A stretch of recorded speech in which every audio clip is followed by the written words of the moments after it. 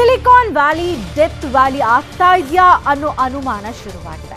ಸರ್ಕಾರಿ ಅಧಿಕಾರಿಗಳ ನಿರ್ಲಕ್ಷ್ಯಕ್ಕೆ ಒಂದೊಂದೇ ಬಲಿ ಬೀಳ್ತಾ ಇದೆ. ಒಂದ್ ಕಡೆ ಬೆಸ್ಕಾಂ ನಿರ್ಲಕ್ಷ್ಯ, ಇನ್ನೊಂದ್ ಕಡೆ ಬಿಬಿಎಂಪಿ ಬೇಜವಾಬ್ದಾರಿತನ. ಈ ಅಸಡ್ಡೆಗೆ ಜೀವ ಬಿಡ್ತಾ ಇರೋದು ಮಾತ್ರ ಅಮಾಯಕ. ಬೆಸ್ಕಾಂ ಅಧಿಕಾರಿಗಳು ಮಾಡಿದ ನಿರ್ಲಕ್ಷ್ಯಕ್ಕೆ ಮತ್ತೊಂದು ಬಲಿಯಾಗಿದೆ. ಎಲ್ಲಿ, ಹೇಗೆ ಅನ್ನೋದನ್ನ ಹೇಳ್ತೀವಿ. Danger lorry, danger BESCOM, danger ರಸ್ತೆ. ಅಧಿಕಾರಿಗಳ ನಿರ್ಲಕ್ಷ್ಯ. ಡೆತ್ ಚೇಂಬರ್ ಬೆಂಗಳೂರು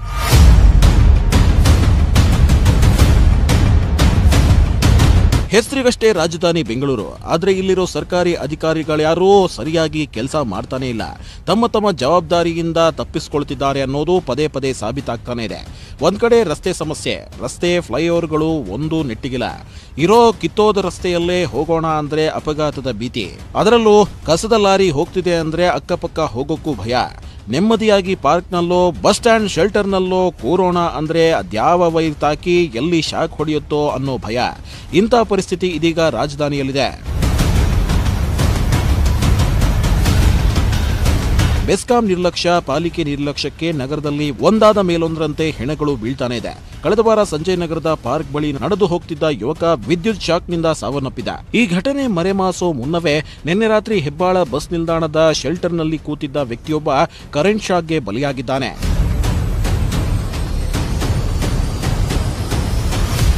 ನಿನ್ನೆ ರಾತ್ರಿ ಒಂಬತ್ತು ಮೂವತ್ತರ ಸುಮಾರಿಗೆ ಮಳೆ ಬರ್ತಿದ್ದರಿಂದ ನಾಲ್ಕೈದು ಮಂದಿ ಬಸ್ ಪ್ರಯಾಣಿಕರ ತಂಗುದಾಣದಲ್ಲಿ ಕಬ್ಬಿಣದ ಚೇರ್ಗಳ ಮೇಲೆ ಕೂತಿದ್ರು. ಈ ವೇಳೆ ಮೂವರಿಗೆ ಕರೆಂಟ್ ಶಾಕ್ ಅನುಭವ ಆಗಿ ಎದ್ದು ದೂರಕ್ಕೆ ಹೋಗಿದ್ದಾರೆ. ಚಪ್ಪಲಿ ಬಿಟ್ಟು ಕೂತಿದ್ದ ಮತ್ತೊಬ್ಬ ಎದ್ದು ಓಡುವ ರಭಸದಲ್ಲಿ ಅಲ್ಲಿದ್ದ ಜಾಹೀರಾತು ಫಲಕವನ್ನ ಮುಟ್ಟಿದ್ದಾನೆ. ಜಾಹೀರಾತು ಫಲಕದಿಂದ ವಿದ್ಯುತ್ ಹರಿದ ಪರಿಣಾಮ ಆ ವ್ಯಕ್ತಿ ಅಲ್ಲೇ ಕುಸಿದು ಬಿದ್ದು ಸಾವನ್ನಪ್ಪಿದ್ದಾನೆ. ಅವ್ರು ಬಂದು ಕುತ್ಕೊಂಡಿದ್ರಣ್ಣ ಮಲ್ಕೊಳ್ಳೋಣ ಅಂತ. ನೋಡಿದ್ರೆ ಇದು ಇನ್ನೊಬ್ರು ಎರಡು ಎರಡು ಮೂರು ಜನ ಇದ್ರು. ಅಲ್ಲಿ ಮೂರು ಜನ ಚಪ್ಪಲಿ ಹಾಕಿದ್ರು ಬಂದ್ಬಿಟ್ರೆ ಆಚೆ. ಅವ್ನು ಚಪ್ಪಲಿ ಹಾಕಿಲ್ಲ ಟಕ್ಕಂದ ಬಾಕ್ಸ್ ಇದ್ಬಿಟ್ಟ. ಅದು ಬಸ್ ಸ್ಟಾಪಲ್ಲಿ ಇದು ವೈರ್ಗಳೆಲ್ಲ ಇದಲ್ಲ ವೈರಿಂದ ಇದಾಗಿರೋದು ಕಾರಣ ಅರ್ಥಿಂಗ್ ಆಗಿರೋದು. ಇಷ್ಟೆಲ್ಲ ಅನಾಹುತ ಆಗ್ತಿದ್ದಂತೆ ಬೆಸ್ಕಾಂ ಸಿಬ್ಬಂದಿ ಬಂದು ಪರಿಶೀಲನೆ ನಡೆಸಿದ್ರು. ಜಾಹೀರಾತು ಫಲಕಕ್ಕೆ ಅನಧಿಕೃತವಾಗಿ ಹಾಕಿದ್ದ ವಿದ್ಯುತ್ ಸಂಪರ್ಕ ಕಡಿತಗೊಳಿಸಿದ್ರು. ಆದರೆ ಈ ಅನಾಹುತಕ್ಕೆ ನಾವು ಕಾರಣ ಅಲ್ಲ ಅಂತ ಬೆಸ್ಕಾಂ ಜಾರಿಕೊಳ್ತಿದೆ ಎರಡ್ ಸಾವಿರದ ಇಪ್ಪತ್ತರಲ್ಲೇ ಈ ಜಾಹೀರಾತು ಫಲಕಕ್ಕೆ ಸಂಪರ್ಕ ಕಟ್ ಮಾಡಿದ್ರು ಜಾಹೀರಾತು ಕಂಪನಿಯವರೇ ಅನಧಿಕೃತ ಸಂಪರ್ಕ ಪಡೆದಿದ್ದಾರೆ ಅಂತಿದೆ. ಈ ಬಗ್ಗೆ ಕೇಸ್ ಕೂಡ ದಾಖಲಿಸಿಕೊಂಡಿದ್ದಾರೆ. ಪ್ರಾಬಬ್ಲಿ ಅವ್ರ ಎಕ್ಸ್ಟೆನ್ಷನ್ ಏನು ಕಂಬದಿಂದ ಏನು ವೈರ್ ಮೀಟ್ರಿಗೆ ಕೊಟ್ಟಿದ್ವಿ, ಅಲ್ಲಿ ಕಟ್ ಮಾಡಿದ್ರಲ್ಲ, ಅಲ್ಲಿಂದ ಟ್ಯಾಪ್ ಮಾಡ್ಕೊಂಡ್ಬಿಟ್ಟಿದ್ದಾರೆ. ಆ ವೈರ್ ಸ್ಕಿನ್ ಆಗಿದೆ. ಅದಕ್ಕೆ ಯಾರು ಜವಾಬ್ದಾರಿ ಇದ್ದಾರೆ, ಪೊಲೀಸ್ ಅವರಿಗೆ ಹೇಳಿದ್ವಿ. ಹಿಂಗೆ ಆಗಿದೆ ಅಂತ ನಮ್ಮ ವಿಜಿಲೆನ್ಸ್ ಎಲ್ಲಿಗೂ ಇನ್ಫಾರ್ಮ್ ಮಾಡಿದೀವಿ. ಹಿಂಗಾಗಿದೆ ಸರ್ ಎಕ್ಸ್ಟೆನ್ಷನ್ ಆಗಿದೆ ಅಂತ ಅವ್ರು ಕೇಸ್ ಬುಕ್ ಮಾಡಿದ್ದಾರೆ, ತನಿಖೆ ಮಾಡ್ತಾರೆ ಅದು. ಅದಕ್ಕೆ ನಾವು ಫುಲ್ ಸಪೋರ್ಟ್ ಮಾಡಕ್ಕೆ ರೆಡಿ ಇದೀವಿ ಎರಡು ವರ್ಷದ ಹಿಂದೆಯೇ ಜಾಹೀರಾತು ಫಲಕದ ವಿದ್ಯುತ್ ಸಂಪರ್ಕ ಕಟ್ ಮಾಡಿದ್ವಿ ಅಂತಿದ್ದಾರೆ. ಹಾಗಿದ್ರೆ ಈಗ ಹತ್ತಾರು ಪ್ರಶ್ನೆಗಳು ಉದ್ಭವ ಆಗಿದೆ ಜಾಹೀರಾತು ಕಂಪನಿ ಅಕ್ರಮವಾಗಿ ವಿದ್ಯುತ್ ಸಂಪರ್ಕ ಪಡೆದಿದ್ರೂ ಇಷ್ಟು ದಿನ ಯಾಕೆ ಕ್ರಮ ಕೈಗೊಂಡಿರಲಿಲ್ಲ? ಎರಡ್ ಸಾವಿರದ ಇಪ್ಪತ್ತರ ಡಿಸೆಂಬರ್ನಿಂದಲೂ ಈ ಅಕ್ರಮ ಜಾಹೀರಾತು ಫಲಕದ ಬಗ್ಗೆ ಪರಿಶೀಲನೆ ಮಾಡಿಲ್ವಾ? ಹದಿನೇಳು ತಿಂಗಳಾಗಿದ್ದರೂ ಬೆಸ್ಕಾಂಗೆ ಈ ಅಕ್ರಮ ವಿದ್ಯುತ್ ಸಂಪರ್ಕ ಗೊತ್ತೇ ಆಗಿರಲಿಲ್ವ? ಆಗ ಕೇವಲ ಅಕ್ರಮ ಸಂಪರ್ಕ ಕಡಿತ ಮಾಡಿ ಸುಮ್ಮನಾದ್ರ? ಮತ್ತೆ ಪರಿಶೀಲನೆ ಮಾಡಿ ಕ್ರಮ ಕೈಗೊಳ್ಳಬೇಕಿತ್ತಲ್ವ? ಬೆಸ್ಕಾಂ ಅಂದೇ ಸರಿಯಾಗಿ ಕೆಲಸ ಮಾಡಿದ್ರೆ ಒಂದು ಪ್ರಾಣ ಹೋಗ್ತಾ ಇರಲಿಲ್ಲ. ಆದ್ರೆ ಈಗ ದುರ್ಘಟನೆ ಆದ್ಮೇಲೆ ಎಚ್ಚೆತ್ಕೊಂಡ್ರೆ ಪ್ರಾಣ ಬರುತ್ತಾ? ಪದೇ ಪದೇ ಅವಘಡಗಳು ಆಗ್ತಿದ್ರೂ ನಿರ್ಲಕ್ಷ್ಯ ಯಾಕೆ? ಬೆಸ್ಕಾಂ ಜೊತೆಗೆ ಬಿಬಿಎಂಪಿಯದ್ದು ಜವಾಬ್ದಾರಿ ಇಲ್ಲವೇ ಅನ್ನೋ ಪ್ರಶ್ನೆಗಳು ಸಾರ್ವಜನಿಕರು ಹಾಕ್ತಿದ್ದಾರೆ. ಕಸದ ಲಾರಿಗಳೆಂದ್ರೆ ಯಮನ ನೋಡಿದಷ್ಟು ಭಯ. ಇನ್ನು ನಿನ್ನೆ ತಣಿಸಂದ್ರದಲ್ಲಿ ಕಿಲ್ಲರ್ ಕಸದ ಲಾರಿಗೆ ಫುಡ್ ಡೆಲಿವರಿ ಬಾಯ್ ಒಬ್ಬ ಬಲಿಯಾಗಿದ್ದ. ಈವರೆಗೂ ನಾಲ್ವರು ಕಸದ ಲಾರಿಗೆ ಬಲಿಯಾಗಿದ್ರೂ ಪಾಲಿಕೆ ಯಾವುದೇ ಕ್ರಮ ಕೈಗೊಂಡಿಲ್ಲ. ಕೇವಲ ಮೃತರ ಕುಟುಂಬಕ್ಕೆ ಒಂದಷ್ಟು ಪರಿಹಾರ ನೀಡಿ ಕೈ ತೊಳೆದುಕೊಳ್ತಿದೆ. ಕಸದ ಲಾರಿಗಳಿಂದ ಇಷ್ಟು ಅನಾಹುತ ಆಗ್ತಿರೋದಕ್ಕೆ ಕಾರಣ ಏನು? ಚಾಲಕರು ಕುಡಿದು ವಾಹನ ಚಲಾಯಿಸುತ್ತಿದ್ದಾರಾ? ಈ ಬಗ್ಗೆ ಗುತ್ತಿಗೆದಾರರನ್ನೇ ನ್ಯೂಸ್ ಏಟೀನ್ ಕನ್ನಡ ಪ್ರಶ್ನಿಸಿದೆ. ಎಷ್ಟು ವೆಹಿಕಲ್ಗಳಿದಾವೆ? ನಿಮ್ಮ ಲಾರಿ ಚಾಲಕರಿಗೆ ಏನಂತ ನೀವು ಇನ್ಸ್ಟ್ರಕ್ಷನ್ ಕೊಟ್ಟಿದ್ರಿ ಬಿ ಬಿ ಎಂ ಏನು ಇನ್ಸ್ಟ್ರಕ್ಷನ್ ಕೊಟ್ಟಿದೆ ನಮಗೆ ತುಂಬ ಸತಿ ಮೀಟಿಂಗ್ಸ್ ಹಾಕಿದ್ದಾರೆ ಈ ಥರ ಈ ಥರ ಆಕ್ಸಿಡೆಂಟ್ಸ್ ಆದಾಗೆಲ್ಲ. ನಮಗೆ ಗೈಡ್ ಮಾಡಿದ್ದಾರೆ. ಈ ಥರ ಇರಬಾರ್ದು, ಈ ಥರ ನೀಟಾಗಿರಬೇಕು ಡ್ರಿಂಕ್ ಅಂಡ್ ಡ್ರೈವ್ ಮಾಡಬಾರ್ದು. ಅದಕ್ಕೋಸ್ಕರನೇ ಇವ್ರು ನಮ್ಮ ಡ್ರೈವರ್ಗಳನ್ನ ಮಾರ್ಷಲ್ಸ್ ಹಾಕಿಸಿ, ಬೆಳಗ್ಗೆ ಬಂದು ಅವ್ರು ಚೆಕ್ ಮಾಡಿಬಿಟ್ಟು ಹೋಗ್ತಾರೆ. ಡೈಲಿ ಬಂದು ಬೆಳಗ್ಗೆ ಆರು ಗಂಟೆಗೆ ಮಾರ್ಷಲ್ಸ್ ಬರ್ತಾರೆ. ಎರಡು ಗಂಟೆ ಈ ಟೈಮ್ಗೆ ಈ ಅನ್ಲೋಡ್ಗೆ ಲೋಡ್ ಆದಮೇಲೆ ಅನ್ಲೋಡ್ಗೆ ಹೋಗೋವಾಗ ಅವ್ರು ಚೆಕ್ ಮಾಡಿನೇ ಕಳಿಸೋದು. ಸುಮ್ಮನೆ ಯಾರು ಇದು ಮಾಡಲ್ಲ. ಆದರೂ ಆಕ್ಸಿಡೆಂಟು ಆಗ್ತಾ ಇದೆ. ಏನು ಮಾಡೋಕ್ಕಾಗಲ್ಲ ಅದು. ಇನ್ನು ಈ ಎಲ್ಲ ಅನಾಹುತಗಳ ಬಗ್ಗೆ ನ್ಯೂಸ್ ಏಟೀನ್ ಜೊತೆ BBMP chief commissioner Tushar Girinath ಅವರು ಮಾತನಾಡಿದ್ರು. ಸಾವಿನ ಬಗ್ಗೆ ಬೇಜಾರಿದೆ. ಯಾರೇ ತಪ್ಪಿತಸ್ಥರಿದ್ರು ಕ್ರಮ ಕೈಗೊಳ್ತೀವಿ ಅಂತ ಅಂದ್ರು. ಈಗ ಫಸ್ಟ್ ಒಂದು ದುರ್ಘಟನೆ ಆಗಿದೆ. ಅದು ಒಂದು ಜೀವ ಹೋಗಿದೆ. ಅದಕ್ಕೆ ನಾವು ಸಂತಾಪ ವ್ಯಕ್ತಪಡಿಸ್ತಾ ಇದ್ದೇವೆ. ಅದು ವಾಪಸ್ ಬರುವುದಿಲ್ಲ. ಆ ದುರ್ಘಟನೆಗೆ ಕಾರಣ ಯಾರು ಏನು ಅಂತ ಪೊಲೀಸ್ ಅವರು ಮಾಡ್ತಾ ಇದ್ದಾರೆ ತಮ್ಮ ತನಿಖೆ ಮಾಡ್ತಾ ಇದ್ದಾರೆ. ಇದಕ್ಕಾಗಿ ಅದ್ರ ಮೇಲೆ ಹೇಳುವುದು ಸರಿಯಲ್ಲ. ಆದ್ರೆ ನಮ್ಮ ಕಡೆ ಅಂದ್ರೆ ಏನ್ ಕ್ರಮ ಕೈಗೊಳ್ಬೇಕು? ಇನ್ನು ಮುಂದೆ ನಮ್ಮ ಸೇಫ್ ಆಗಿ ನಮ್ಮ ವಾಹನಗಳನ್ನು ಚಾಲನೆ ಮಾಡ್ಲಿಕ್ಕೆ ಏನ್ ಮಾಡಬೇಕು? ಆ ಕ್ರಮನ ನಾವು ಕೈಗೊಳ್ತಾ ಇದ್ದೇವೆ. ಒಟ್ನಲ್ಲಿ ಪಾಲಿಕೆ ಹಾಗೂ ಬೆಸ್ಕಾಂ ಎಷ್ಟೇ ಅನಾಹುತ ನಡೆದರೂ ಎಚ್ಚೆತ್ತುಕೊಳ್ತಾನೆ ಇಲ್ಲ. ಅವಘಡ ನಡೆದಾಗ ಕಾಟಾಚಾರಕ್ಕೆ ಪರಿಶೀಲನೆ ನಡೆಸಿ ಒಂದಿಬ್ಬರ ಮೇಲೆ ಕೇಸ್ ಹಾಕಿ ಮೃತರ ಕುಟುಂಬಕ್ಕೆ ಒಂದಷ್ಟು ಪುಡಿಗಾಸು ಕೊಟ್ಟು ಕೈ ತೊಳೆದುಕೊಳ್ತಿದೆ. ಆದರೆ ಇವರ ಈ ಬೇಜವಾಬ್ದಾರಿತನಕ್ಕೆ ಬಲಿಯಾಗ್ತಿರೋದು ಮಾತ್ರ ಬಡಪಾಯಿ ಜನಸಾಮಾನ್ಯರು. Munraju crime bureau news eighteen Kannada, Bengaluru. Acid ದಾಳಿಕೋರರ ಗುಂಡೇಟು ತಿಂದು ಆಸ್ಪತ್ರೆಗೆ ಸೇರಿದ್ದಾನೆ. ಈ ನಡುವೆ ಆತನ ಪ್ಲಾನ್ ಇದೆಯಲ್ಲ. ಅದನ್ನ ಕೇಳಿ ಪೊಲೀಸರೇ ಶಾಕ್ ಆಗಿದ್ದಾರೆ. ಇನ್ನೊಂದ್ ಕಡೆ ನಾಗ ಕಾಲೇಜ್ ಡೇಸ್ನಲ್ಲಿ ಮೂವರು ಹುಡುಗಿಯರ ಹಿಂದೆ ಬಿದ್ದಿದ್ನಂತೆ. ಈಗ ನಾಲ್ಕನೆಯವಳ ಬಾಳಲ್ಲಿ ಚೆಲ್ಲಾಟ ಆಡಿದ್ದಾರೆ. ಆತನ ಕ್ರಿಮಿನಲ್ ಮನಸ್ಥಿತಿ ಹೇಗಿತ್ತು? ಹೇಳ್ತೀವಿ ನೋಡಿ.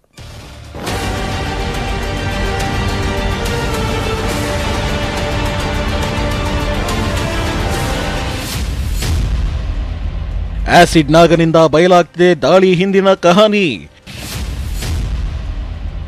ಕಾಲೇಜ್ ಡೇಸ್ನಲ್ಲೂ ಮೂವರ ಹಿಂದೆ ಬಿದ್ದಿದ್ದ ನಾಗ. ಯುವತಿ ಮೇಲೆ ಆಸಿಡ್ ಹಾಕಿ ಹದಿನಾರು ದಿನದ ಬಳಿಕ ಆಸಿಡ್ನಾಗ ಖಾಕಿ ಕೈಗೆ ಸಿಕ್ಕಿಬಿದ್ದಿದ್ದಾನೆ. ಪೊಲೀಸರಿಂದ ತಪ್ಪಿಸಿಕೊಳ್ಳಲು ಹೋಗಿ ಪೊಲೀಸರಿಂದ ಗುಂಡೇಟು ತಿಂದು ಆಸ್ಪತ್ರೆಯ ಬೆಡ್ ಹಿಡಿದಿದ್ದಾನೆ. ಈ ನಡುವೆ ಆಸಿಡ್ನಾಗ ತನ್ನ ದುಷ್ಕೃತ್ಯಕ್ಕೆ ಮಾಡಿದ್ದ ಪ್ಲಾನ್ ಎಂಥದ್ದು, ಅವನ ಹಿಂದಿನ ಕಿರಾತಕ ಕೃತ್ಯಗಳು ಏನೆಲ್ಲ ಇತ್ತು ಅನ್ನೋದು ಒಂದೊಂದಾಗಿ ಬೆಳಕಿಗೆ ಬರುತ್ತಿದೆ. ಆಸಿಡ್ ಖರೀದಿಸೋಕೆ ನಕಲಿ ಲೆಟರ್ ಹೆಡ್ ಬಳಸಿದ್ದ ಅನ್ನೋದು ಇದೀಗ ತಿಳಿದು ಬಂದಿದೆ.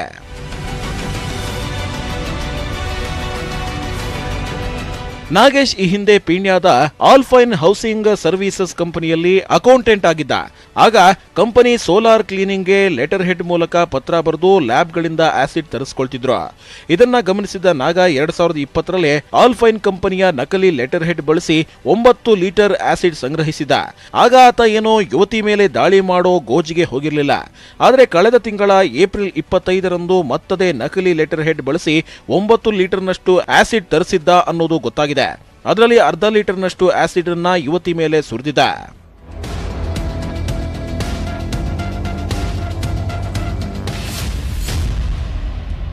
ಅಷ್ಟು ಸುಲಭವಾಗಿ ಸಿಗುತ್ತಾ ಡೆಡ್ಲಿ ಆಸಿಡ್ ಕಠಿಣ ಕಾನೂನು ಇಲ್ಲದೆ ಕಿಡಿಗೇಡಿಗಳಿಗೆ ವರದಾನ? ನಾಗನಿಗೆ ಸುಲಭವಾಗಿ ಅಷ್ಟೊಂದು ಪ್ರಮಾಣದ ಆಸಿಡ್ ಸಿಕ್ಕಿರೋದು ನೋಡಿದ್ರೆ ಯಾರು ಬೇಕಾದರೂ ಸುಲಭವಾಗಿ ಆಸಿಡ್ ತರಿಸ್ಕೊಳ್ಬಹುದಾ ಅನ್ನೋ ಪ್ರಶ್ನೆ ಉದ್ಭವಿಸುತ್ತೆ. ಕರ್ನಾಟಕದಲ್ಲಿ ಆಸಿಡ್ ಮಾರಾಟ ಸಂಬಂಧ ಕಠಿಣ ಕಾನೂನು ಇಲ್ಲವೇ ಇಲ್ಲ. ಈ ಹಿಂದೆ ಸುಪ್ರೀಂ ಕೋರ್ಟ್ ಆಯಾಯ ರಾಜ್ಯದವರು ಆಸಿಡ್ ಮಾರಾಟಕ್ಕೆ ಕಠಿಣ ಆಕ್ಟ್ಗಳನ್ನು ತರುವಂತೆ ಸೂಚಿಸಿತು ಬೇರೆ ರಾಜ್ಯದವರು ಆಸಿಡ್ ನಿಯಂತ್ರಣ ಕಾಯ್ದೆಯನ್ನ ತಂದ್ರೆ ಕರ್ನಾಟಕದಲ್ಲಿ ಆಸಿಡ್ ನಿಯಂತ್ರಣ ಕಾಯ್ದೆಯನ್ನ ಇನ್ನೂ ತಂದಿಲ್ಲ. ಬೆಂಗಳೂರಿನಲ್ಲಂತೂ ಗಲ್ಲಿ ಗಲ್ಲಿಯಲ್ಲಿ ಬರೀ ನಲವತ್ತಾರು ರೂಪಾಯಿಗೆ ಒಂದು ಲೀಟರ್ ಸೆಲ್ಫ್ಯೂರಿಕ್ ಆಸಿಡ್ ಸಿಗ್ತಿದೆ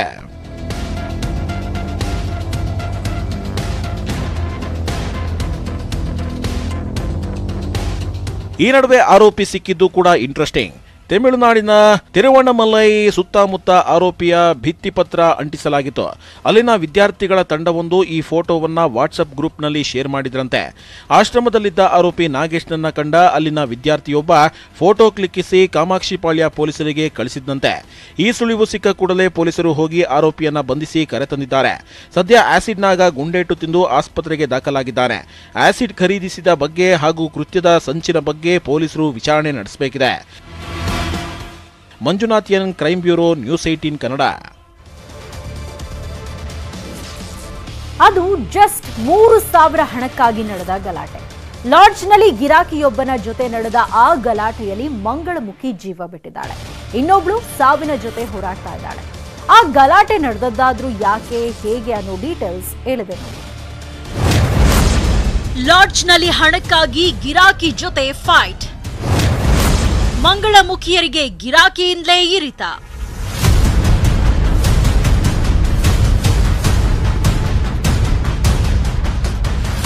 ಬೆಂಗಳೂರಲ್ಲಿ ಆಸೆ ತೀರಿಸಿಕೊಳ್ಳಲು ಹೋದ ಗಿರಾಕಿಯೊಬ್ಬ ಹಣಕಾಸಿನ ವಿಚಾರಕ್ಕೆ ಗಲಾಟೆ ತೆಗೆದು ಮಂಗಳಮುಖಿಯನ್ನೇ ಕೊಂದಿರೋ ಘಟನೆ ನಡೆದಿದೆ. ಸದಾ ಜನಜಂಗುಳಿಯಿಂದ ಕೂಡಿರೋ ಮೆಜೆಸ್ಟಿಕ್ನ ಶಾಂತಲಾ ಸರ್ಕಲ್ನಲ್ಲಿರೋ ಶಿವಾಸ್ ಲಾಡ್ಜ್ನಲ್ಲಿ ಈ ಘಟನೆ ನಡೆದಿದೆ. ಅಂಕಿತ್ ಕುಮಾರ್ ಎಂಬಾತ ಮೊನ್ನೆ ಮಧ್ಯರಾತ್ರಿ ಮಂಗಳಮುಖಿ ಅರ್ಚನಾ ಎಂಬುವವಳನ್ನ ಬುಕ್ ಮಾಡಿಕೊಂಡು ಲಾಡ್ಜ್ಗೆ ಕರ್ಕೊಂಡು ಹೋಗಿದ್ದ. ಅಲ್ಲಿ ಗಲಾಟೆಯಾಗಿದ್ದು ಅರ್ಚನಾ ಸಾವಿನಲ್ಲಿ ಕೊನೆಗೊಂಡಿದೆ.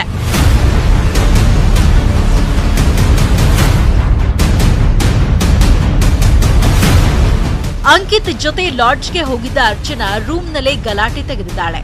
ಮೂರು ಸಾವಿರ ಹೆಚ್ಚು ಕೊಡುವಂತೆ ಒತ್ತಾಯಿಸಿದ್ಲಂತೆ. ಆದ್ರೆ ಇದಕ್ಕೆ ಒಪ್ಪದ ಅಂಕಿತ್ ಗಲಾಟೆ ತೆಗೆದಿದ್ದಾನೆ ಆಗ ಅರ್ಚನಾ ತನ್ನ ಗೆಳತಿ ಸಂಜನಾಳನ್ನು ಲಾಡ್ಜ್ ರೂಮ್ಗೆ ಕರೆಸಿಕೊಂಡಿದ್ದು, ಇಬ್ಬರೂ ಸೇರಿ ಅಂಕಿತ್ನನ್ನ ಹೆದರಿಸಿ ಹಣ ವಸೂಲಿಗೆ ಮುಂದಾಗಿದ್ರಂತೆ. ಹೆದರಿದ ಅಂಕಿತ್ ಕೂಡ ತನ್ನಿಬ್ಬರು ಸ್ನೇಹಿತರನ್ನ ಲಾಡ್ಜ್ ಬಳಿ ಕರೆಸಿಕೊಂಡಿದ್ದಂತೆ. ಆಗ ಗಲಾಟೆ ಜೋರಾಗಿದ್ದು, ಅಂಕಿತ್ ಅಲ್ಲಿಯೇ ಇದ್ದ ಚೂರಿ ತೆಗೆದು ಅರ್ಚನಾ ಹಾಗೂ ಸಂಜನಾಗೆ ಇರಿದು ಎಸ್ಕೇಪ್ಗೆ ಯತ್ನಿಸಿದ್ದ.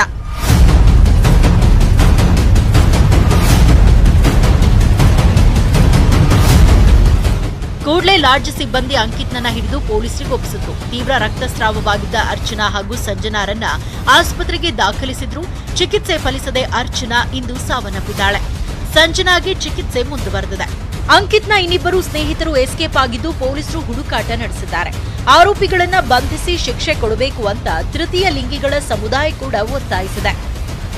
Manjunath N crime bureau, news eighteen Kannada, Bengaluru. ನಮ್ಮ ಬೆಂಗಳೂರು ಮುಂದುವರಿಯುತ್ತೆ, ಚಿಕ್ಕ ಬ್ರೇಕ್ ಆದ್ಮೇಲೆ.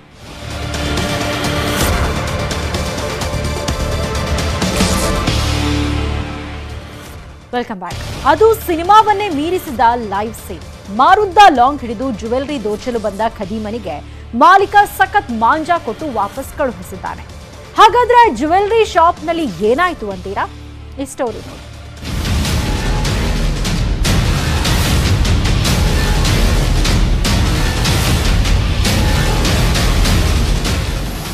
ಅಬ್ಬಾ ಸಿಸಿಟಿವಿ ದೃಶ್ಯವನ್ನೊಮ್ಮೆ ನೋಡಿ. ಲಾಂಗ್ ಹಿಡಿದು ಸ್ಕೂಟರ್ನಿಂದ ಇಳಿದು ಬಂದ ಆ ಕಿಡಿಗೇಡಿ ಸೀದಾ ಜ್ಯುವೆಲರಿ ಶಾಪ್ ಮಾಲೀಕನಿಗೆ ತೋರಿಸಿದ್ದ. ಚಿನ್ನ, ಹಣ ಕೊಡುವಂತೆ ಲಾಂಗ್ ಅನ್ನ ತೋರಿಸಿ ಹೆದರಿಸಿ ಗಲ್ಲಾಪೆಟ್ಟಿಗೆಗೆ ಕೈ ಹಾಕಿದ್ದ. ಆದ್ರೆ ಆ ಜ್ಯುವೆಲರಿ ಮಾಲೀಕ ಸಖತ್ ಧೈರ್ಯವಂತ.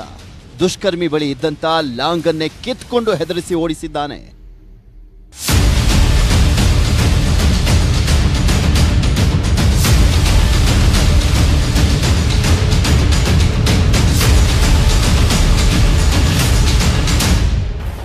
ಅಂದಹಾಗೆ, ಈ ಘಟನೆ ನಡೆದಿರುವಂತದ್ದು ಬೆಂಗಳೂರಿನ ಜೆಸಿ ನಗರ ಠಾಣಾ ವ್ಯಾಪ್ತಿಯ ಸಿದ್ಧಾರ್ಥ ಬ್ಯಾಂಕರ್ಸ್ನಲ್ಲಿ. ಡಿಯೋ ಬೈಕ್ನಲ್ಲಿ ಹಾಡಹಗಲೇ ಲಾಂಗ್ ಹಿಡಿದು ಬಂದಂತ ಆರೋಪಿ ಹೆಸರು Siddiqui alias burn Siddiqui. Siddhartha bankers ಮಾಲೀಕ ಸಿದ್ಧಾರ್ಥ ಅವರಿಗೆ ಲಾಂಗ್ ಅನ್ನ ತೋರಿಸಿ ಹೆದರಿಸಿದ್ದಾನೆ. ಅಲ್ಲದೆ ಚಿನ್ನದ ಸರ ಎಳೆದುಕೊಳ್ಳುವಾಗ ಸಮಯ ಪ್ರಜ್ಞೆಯನ್ನ ತೋರಿದಂತಹ ಸಿದ್ಧಾರ್ಥ ಅವರು ಸಿದ್ದಿಕಿ ಹಿಡಿದಿದ್ದಂತ ಲಾಂಗ್ ಅನ್ನ ಕಿತ್ಕೊಂಡಿದ್ದಾರೆ. ಇಬ್ಬರ ನಡುವೆ ಚಿಕ್ಕದೊಂದು ಫೈಟ್ ಕೂಡ ನಡೆದಿದೆ. ಹೆದರಿದಂತ ಸಿದ್ದಿಕಿ ಚಿಕ್ಕ ಚೈನ್ ಒಂದನ್ನ ಕಿತ್ಕೊಂಡು ಲಾಂಗ್ ಅಲ್ಲೇ ಬಿಟ್ಟು ಎಸ್ಕೇಪ್ ಆಗಿದ್ದಾನೆ When he put the hand inside, I saw he was distracted and his attention was there. That's when I saw the chance of grabbing the knife from the other hand. And uh, without going for a second thought, I just grabbed the knife from his hand and I pulled it off to my side. We had a fight in between like 10 seconds, and I was successfully able to take the knife. And when I, uh, the knife was in my hand, he just ran away. ಇನ್ನು ಆರೋಪಿ ಕೃತ್ಯದ ವಿರುದ್ಧ JC ನಗರ ಠಾಣೆಯಲ್ಲಿ ದೂರು ದಾಖಲಾಗಿತ್ತು. ಈ ಆರೋಪಿ ಪುಲಕೇಶಿ ನಗರದಲ್ಲೂ ಕೂಡ bike ಕಳ್ಳತನ ಮಾಡಿ ಕದ್ದ ಬೈಕ್ನಲ್ಲಿ ರಾಬರಿಯನ್ನ ಮಾಡ್ತಿದ್ದ ಅನ್ನುವಂಥದ್ದು ಗೊತ್ತಾಗಿದೆ. ಕೂಡಲೇ ಕಾರ್ಯಪ್ರವೃತ್ತರಾದಂಥ ಪೊಲೀಸರು ಮೊಬೈಲ್ ಟ್ರೇಸಿಂಗ್, ಸ್ಕೂಟರ್ ಓಡಾಡಿದಂತ ಜಾಗವನ್ನೆಲ್ಲ ಪರಿಶೀಲಿಸಿ ಆರೋಪಿಯನ್ನ ಬಂಧಿಸಿದ್ದಾರೆ.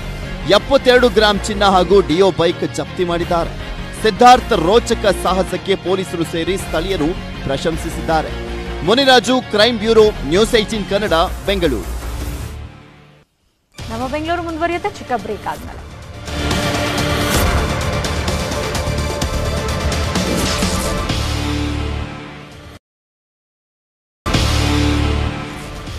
Welcome back. ದೊಮ್ಮಲೂರಿನ ಬಯಲು ರಂಗಮಂದಿರದಲ್ಲಿ ಶಾಸಕರ ಕಚೇರಿ ತೆರೆದ ಸಂಬಂಧ ಶಾಂತಿನಗರ ಎಂಎಲ್ಎ ಹ್ಯಾರಿಸ್ ಪ್ರತಿಕ್ರಿಯೆ ನೀಡಿದ್ದಾರೆ. ಶಾಂತಿನಗರ ಕ್ಷೇತ್ರ ವ್ಯಾಪ್ತಿಯಲ್ಲಿ ಎಲ್ಲೂ ಶಾಸಕರ ಕಚೇರಿ ಇಲ್ಲ. ಬಿಬಿಎಂಪಿಯೇ ಶಾಸಕರಿಗೆ ಕಚೇರಿ ಮಾಡಿಕೊಡ್ಬೇಕಾಗಿತ್ತು. ಈಗ ರಂಗಮಂದಿರದ ಮೊದಲ ಮಹಡಿಯಲ್ಲಿ ಕಚೇರಿ ತೆರೆದಿದ್ದೇವೆ. ಇದರಿಂದ ಯಾರಿಗೂ ತೊಂದರೆ ಇಲ್ಲ. ಯಾವುದೇ ಕಾರಣಕ್ಕೂ ಕಚೇರಿಯನ್ನು ಖಾಲಿ ಮಾಡಲ್ಲ ಅಂತ ಹೇಳಿದ್ದಾರೆ. ನೋಡಿ ನೀವು. ಅದ್ರ ಪಾಡಿಗೆ ಅದಿದೆ. ಅದ್ರ ಮೇಲೆ ಇರುವಂತ ಜಾಗವನ್ನು ನಾವು ಎಂ ಎಲ್ ಎ ಕಚೇರಿ ಮಾಡಿದ್ದೀವಿ. ಏನು ಸಮಸ್ಯೆ ಏನಿದೆ ಅದರಿಂದ ಅಂತ ನನಗೆ ಅರ್ಥ ಆಗಲಿಲ್ಲ. ಆಮೇಲೆ ಬಿ ಬಿ ಎಂ ಪಿನೇ ಖರ್ಚು ಮಾಡಿ ನಮಗೆ ಆಫೀಸ್ ಮಾಡಿಕೊಡ್ಬೇಕಾಗಿರೋದು. ಎಂ ಎಲ್ ಎಗೇನು ಆಫೀಸ್ ಮಾಡಿಕೊಡ್ಬೇಕಾಗಿರೋದು ಬಿ ಬಿ ಎಂ ಪಿನ ಸೊ ನೋ ಇಶ್ಯೂ ಬಿದ್ದಾಗ್ತದೆ ಅಂತೇಳಿ ಅವ್ರು ರಾಜಕೀಯ ಮಾಡ್ತಾ ಇದ್ದಾರೆ ಹೊರತು. ಇದರಲ್ಲಿ ಏನೂ ಇಲ್ಲ. ಜನರಿಗೆ ಒಳ್ಳೇದಾಗ್ತದೆ ಇದರಿಂದ. ಇದಾಗಿತ್ತು ಇವತ್ತಿನ ನಮ್ಮ ಬೆಂಗಳೂರು. ನೋಡ್ತಾ ಇರಿ ನ್ಯೂಸ್ ಏಟೀನ್ ಕನ್ನಡ. ಜಾಲ ನಮ್ಮದು ಬಲ